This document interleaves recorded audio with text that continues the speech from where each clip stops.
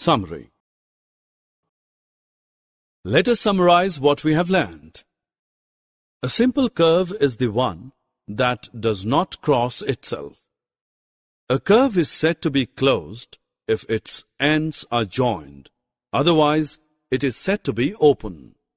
A polygon is a simple closed curve made up of line segments.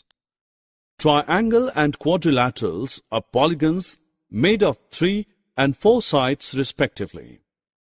A circle is the path of a point moving at the same distance from a fixed point.